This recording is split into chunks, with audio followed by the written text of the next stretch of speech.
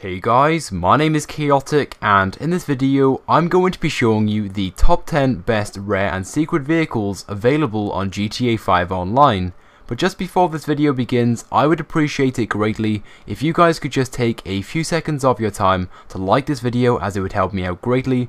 Also be sure to subscribe to my channel if you have not already as I upload all the latest and the greatest Grand Theft Auto 5 content. So anyway guys, let's get straight into this video. So to begin with, in 10th place I have a vehicle which isn't particularly secret or rare, but this vehicle recently became available on GTA 5 Online, and of course this vehicle is the Sticker Bomb car. So to obtain this vehicle, what you want to do is go on your phone, then go to the Southern San Andreas Super Autos, and you want to purchase the Azir, and of course you may need to replace a vehicle in your garage. Now once you have the vehicle, take it to the Los Santos Customs where you can then fully customize this car and you can fit the sticker bomb decals. With this car you can in fact choose which panels you have the sticker bomb decals fitted to. You can of course do the front bumper as well as the left and right fenders as well as the bonnet, the roof and the trunk. Now unfortunately you can't actually do the doors and the rear panels, which personally is a shame, but it does look really cool once you have fitted the sticker bomb decals to it. There's also loads of other different customizations which you can also do on this car, such as lower the suspension as well as fit the spoiler. You can of course do a respray, have the xenon lights and loads of other things. But anyway, as you can see in the video, once you have taken this car to the Los Santos Customs and you have fully customized it as well as added the sticker bomb decals to it, this car does look really cool and it's definitely worth having. Now as far as I'm aware, not many people actually have this car online, which kind of makes this kind of rare.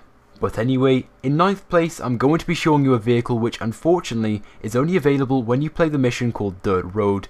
But as soon as you spawn in, you want to follow where I go, you run down this dirt track and park by the side of the road halfway down is the Canis Bodhi. This is of course Trevor's truck from story mode and as you can see this is a very cool looking truck. This truck has several very cool features which make this truck look so much better. These features include the roof lights which have the chrome backing, as well as the rusty chrome bumper which allows you to smash into other vehicles and it results in very little damage actually taking place to your own vehicle and of course you're able to push other vehicles out of the way because this truck is very powerful. You can also get 4 people inside this truck, you can get 2 people in the two front seats and you can get 2 people in the back of the truck. Now the reason this truck is only in ninth place is because you can't actually store this truck inside your garage. In the previous updates, you used to be able to store this vehicle inside your garage, however Rockstar recently patched that ability and you can no longer actually take this vehicle inside your garage, which personally is a real shame because I would really like to have this vehicle inside my garage to use online. The next vehicle which I'm going to be showing you the location of is the police riot van and I'm going to be awarding this vehicle 8th place in this video simply because this vehicle is badass. So to find this vehicle what you want to do is make your way to my location and this van should be parked outside the police station at any time of day just about every time that you make your way to this location the reason why this police riot van is being featured in this video in 8th place is because this police riot van is really cool. It is completely armoured, which means people can shoot at this van and you won't be able to take any damage whatsoever. I would say the only downside really with this van is the fact it doesn't have bulletproof tyres, but you can smash into just about any vehicle on the road and you will take very little damage whatsoever. What's also really cool about this vehicle is people can hang from the sides of this vehicle and you can get loads of people on both sides as well as on the back. Unfortunately, you cannot store this vehicle inside your garage or buy it from the internet and have Pegasus deliver it to you, which personally is a real shame because this vehicle overall is really cool. The next vehicle which I'm going to be showing you, which personally deserves 7th place, is the Bugatti Veyron, also known as the Adder. Now this vehicle spawns in the same location both online and in story mode, and the online location was recently added to online in one of the most recent updates. So basically what you want to do to obtain the Adder online completely for free is make your way to my location, and it should be parked there any time of day. Now to increase the chance of it actually spawning in, I recommend driving up and down the road in another supercar and it should increase the chance of the adder spawning in. Now unfortunately you cannot take this back to your garage and take it inside as the vehicle is worth more than $50,000. The same applies if you try to take it to the Los Santos Customs, you cannot take it inside as the vehicle is too hot. However, there are glitches which allow you to take vehicles just like this one inside your garage without actually buying it, which means you can get vehicles just like this one completely for free, so I will have a link in the description to a full tutorial on how to get vehicles just like this one inside your garage without actually buying it. But anyway, as I'm sure you all know, this car is currently the fastest car available on GTA 5 Online. It's also worth a million dollars if you were to buy it from the Legendary Motorsport website, so of course by going to the location which I have shown you, you can get this car completely for free. The next vehicle which I'm going to be showing you the location of is the hearse, also known as the funeral car, now to actually get this vehicle to spawn in online is very difficult, it's a very rare car, but the most common place to actually find this vehicle is at my current location just outside the church.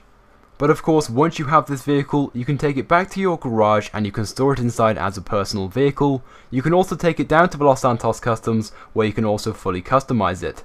Now the reason that this vehicle is in 6th place in this video is due to how rare this vehicle actually is. It is very difficult to get this vehicle to spawn in online, so if you do want to get this vehicle online you need to be very patient and just keep on driving up and down the road in a vehicle which is very similar to it. The next vehicle which I'm going to be showing you the location of is the Lost MC Burrito van and I'm going to be awarding this vehicle 5th place in this video simply because this vehicle is awesome.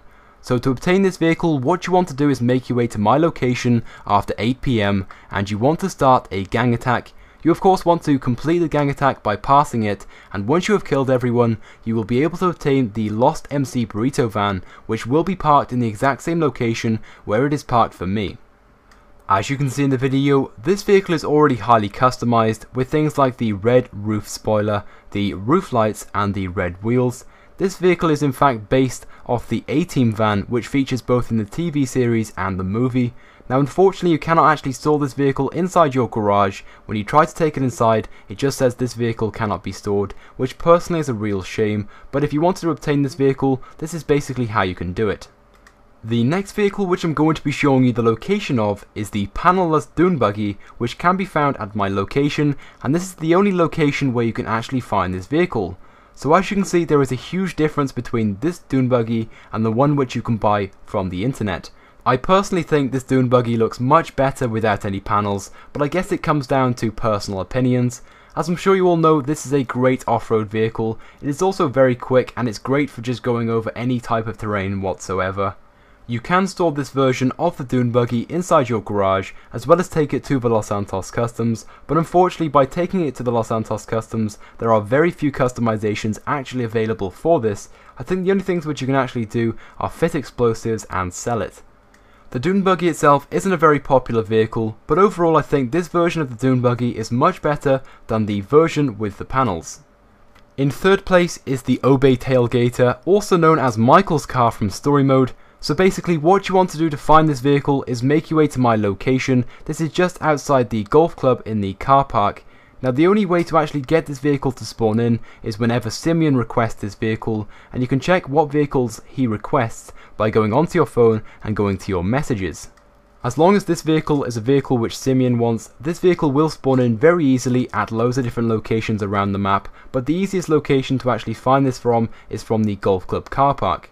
Now you can take this vehicle back to your garage and store it inside, as well as take it down to the Los Santos Customs where it's fully customizable and there are loads of different extras which you can actually add onto this. As you can see I've already fully customized my car and it looks really cool in white with the black roof. You can also upgrade the rear and the front bumper as well as add the spoiler. You can tint the windows, change the wheels. You can also upgrade the hood as well and you can have vented hoods or you can just have the standard hood like I have. But overall this is definitely a very cool car which is why this car deserves third place. The next vehicle is a vehicle which is very popular in the GTA 5 community. At first when you see this car it doesn't look very special whatsoever, it's very basic and it has very few things actually going for it. This vehicle of course is the Sultan RS and once you have taken this vehicle to the Los Santos Customs it is fully customizable and you can make this car look so much better than the actual standard version. So to obtain this vehicle there are loads of different locations where it can be found. These locations include the airport, Sandy Shores, and the prison car park where I obtained mine. Personally, the prison car park is the easiest location to find the Sultan RS at, but as you can see, once you have taken this car to the Los Santos Customs, there are loads of different things which you can fit to this car to make this car look really cool. You can of course store this vehicle inside your garage. It's also a very expensive vehicle once you have fully customized it, making this a very useful vehicle to use if you ever wanted to do an unlimited money glitch. And finally, in first place we have the Mercenaries Jeep, also known as the Canis Mesa, and as I'm sure you all know, to obtain this vehicle, what you want to do is call Merryweather, and you want to call mercenaries upon someone. And as soon as they arrive, you basically just want to take out the four people inside the Jeep, and you can then take this vehicle inside your garage and store it as a personal vehicle. I personally love this vehicle simply because it has loads of different customizations on it which make it look really cool. The customizations include things like the exterior roll cage, the front winch and bumper, it's also got a roof rack, roof lights, a snorkel, side steps, huge off-road wheels and tyres, and a lift kit, as well as many other things fitted to it as well. I in fact had a vehicle very similar to this one in real life. I didn't quite have as many customizations as this one, but they were very similar.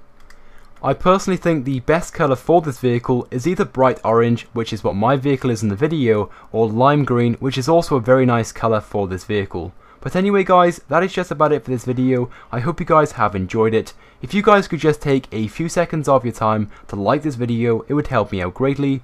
Also be sure to leave a comment on this video and tell me what you thought about these vehicles and if you have not subscribed to my channel already I recommend that you do as I upload all the latest and the greatest Grand Theft Auto 5 content. If you also want to see some more rare and secret vehicles, I will have some links in the description to some more videos which I have uploaded which do contain some more rare and secret vehicles which are available on GTA 5 Online. So anyway guys, thank you for watching and I will see you guys next time.